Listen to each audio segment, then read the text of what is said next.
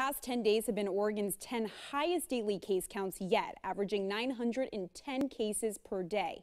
That's why Governor Brown put the entire state on a two-week freeze starting on Wednesday. And some of the biggest takeaways are restaurants and bars will have takeout orders only, and several other businesses like gyms have closed entirely. And for all that 2020 has brought restaurant and gym owners, this is definitely not the news they wanted to hear. These new restrictions come just before the holidays, and now many employees will soon be out of a job. And as KEZI 9 News reporter Kennedy Dendy shows us, this could be what shuts down some of them for good.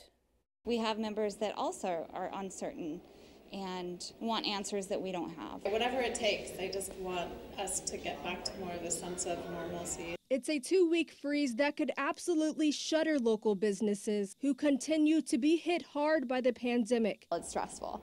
It takes a lot of time and energy to um, decide how to operate, how to move forward, how to provide a safe space for our members. Catherine Richardson owns Fitness 1440 in Eugene with her sister Cody. They're worried this freeze will cause them to close their doors for good. Just going through closures has set us behind in a lot of bills that we pay every month. For the gym, the road ahead is uncertain to say the least. We've powered through it and we will continue to power through it because that's just our mentality and that's who we are. Unlike the two week pause that many Oregon counties had to face, this two week freeze applies to all Oregonians. It really just had to roll with a punch list. Park Street Cafe in Eugene was forced to shut down in March until given the green light to reopen. I just want COVID to go away. So if like having everybody stay home for two weeks, I'd like to believe that I think that that will solve some problems